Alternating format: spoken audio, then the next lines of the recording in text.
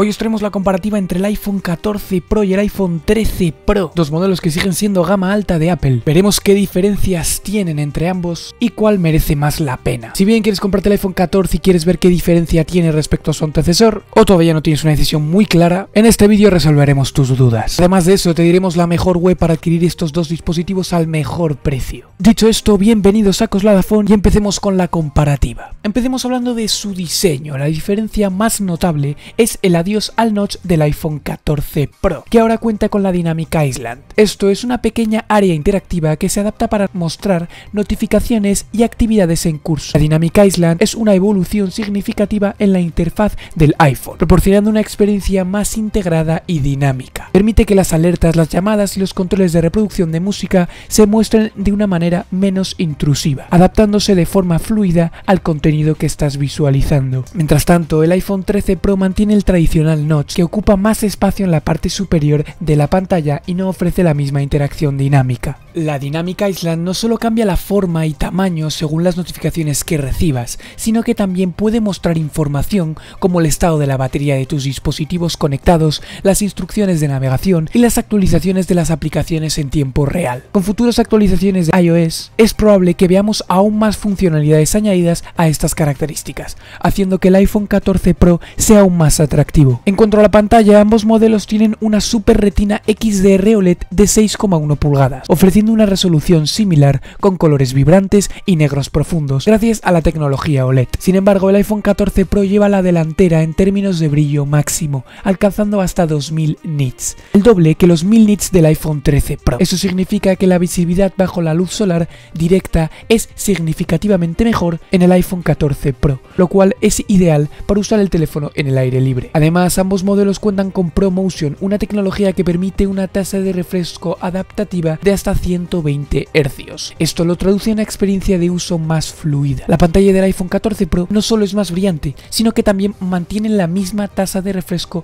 adaptativa, asegurando una excelente experiencia visual sin sacrificar la duración de la batería. Un aspecto adicional al considerar es la durabilidad de la pantalla. Ambos modelos están equipados con la Ceramic Shield en la parte frontal, una tecnología desarrollada por Apple que proporciona una mayor resistencia a caídas y rayaduras en comparación con el vídeo convencional. Además, ambos dispositivos cuentan con la certificación IP68, lo que significa que son resistentes al agua y al polvo. Por la parte trasera, estéticamente son prácticamente iguales. Bordes cuadrados con la misma cobertura, el material de la parte de atrás bastante similar, lo único que cambiaría es el tamaño del módulo de cámaras, es ligeramente superior el del iPhone 14, aunque es difícil de apreciar a simple vista. Lo dicho, prácticamente iguales en cuanto a estética, la única diferencia notable sería el notch. Una de las mejoras más significativas del iPhone 14 Pro es su cámara principal de 48 megapíxeles, frente a los 12 megapíxeles del iPhone 13 Pro. Este aumento en la resolución permite capturar imágenes con un nivel de detalle superior, especialmente al hacer zoom en situaciones donde se requiere recortar la imagen sin perder calidad. Las fotos tomadas con el iPhone 14 Pro son notablemente más nítidas y ricas en detalles. Además, el iPhone 14 Pro introduce el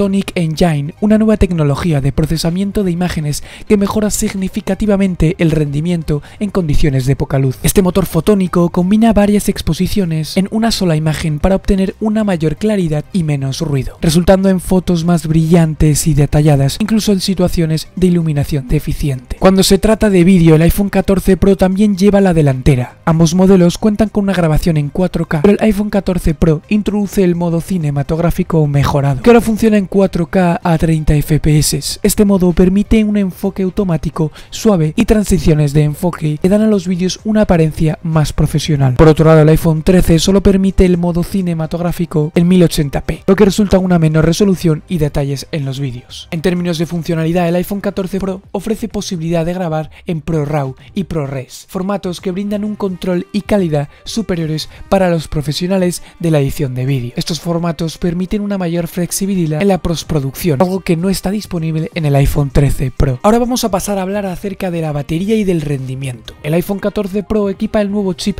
A16 Bionic Bionic, mientras que el 13 Pro el A15 Bionic. Este cambio se traduce en un rendimiento un 10% superior en el iPhone 14 Pro, lo que significa una mayor velocidad y eficiencia energética. El chip A16 Bionic no solo mejora la velocidad del procesamiento, sino que también optimiza el uso de la batería. Aunque para el usuario promedio las diferencias en el rendimiento diario pueden no ser tan evidentes, si notarás una mayor eficiencia en tareas más exigentes como la edición de vídeo o juegos con gráficos avanzados. Respecto a la batería, aquí las diferencias son mínimas, pero aún relevantes. El iPhone 14 Pro ofrece hasta 23 horas de reproducción de vídeo, solo una hora más que el iPhone 13 Pro que ofrece hasta 22 horas. Esto puede parecer una diferencia pequeña, pero en situaciones de uso prolongado, esa hora adicional puede ser crucial. En cuanto a la carga, ambos modelos soportan carga rápida, logrando un 50% en solo 30 minutos. Además, el iPhone 14 Pro introduce la funcionalidad de pantalla siempre encendida o Always on Display. Esta función permite ver notificaciones, la hora y otras informaciones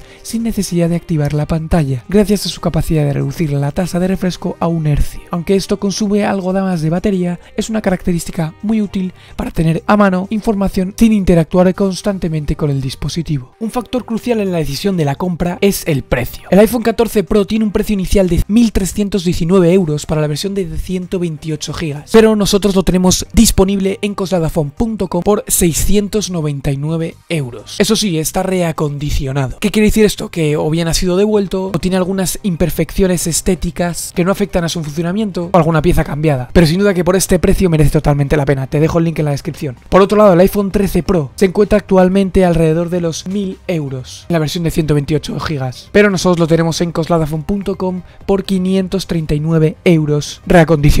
También lo tenemos nuevos, como te he dicho antes, tienes el link en la descripción. Sin duda adquirir estos dispositivos reacondicionados merece totalmente la pena. La diferencia de precio es bastante elevada. En nuestra web, entre uno y otro hay una diferencia casi de 200 euros. Aunque es cierto que estos dos dispositivos bajarán de precio con la salida del iPhone 16. Así que podría ser una buena opción esperarse un poco a que salga este dispositivo para que bajen estos de precio. Recapitulando, hay varias diferencias importantes entre el iPhone 14 Pro y el iPhone 13 Pro que podrían influir en tu decisión de compra. Vamos a profundizar en cada una de ellas para entender mejor su impacto. Primero, la pantalla. El iPhone 14 Pro introduce la Dynamic Island, una solución innovadora que reemplaza el notch tradicional, que no solo ocupa menos espacio, sino que también es interactiva. En segundo lugar, la cámara. El iPhone 14 Pro ofrece una cámara de 48 megapíxeles. Esta actualización permite capturar imágenes con mayor detalle y claridad, especialmente en el zoom. Otra novedad es la pantalla siempre encendida del iPhone 14 Pro, que muestra notificaciones y la hora sin necesidad de activar la pantalla completa. En términos de rendimiento, el iPhone 14 Pro viene equipado con el chip